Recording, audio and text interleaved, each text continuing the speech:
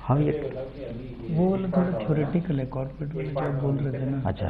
काफ़ी थ्योरेटिकल इसलिए उसमें मैं नहीं जा रहा अच्छा। तो वो एक तो उसमें ये जितना मिडिल क्लास है वो एंटी हो जाएगा कि हम प्राइवेटाइजेशन के खिलाफ हैं कंपनियों के खिलाफ वो मैं इसलिए मैं उसमें नहीं आ रहा. उस डिबेट में मैं पढ़ नहीं रहा था जानबूझ बाकी कुछ और ये जो हाशिए पर जो अस्सी फ़ीसदी समाज है इसमें बोलेंगे। इसमें इसमें अब आ जाइए ना उसको वोट बैंक तो वही है असल में देश भर में। बिल्कुल।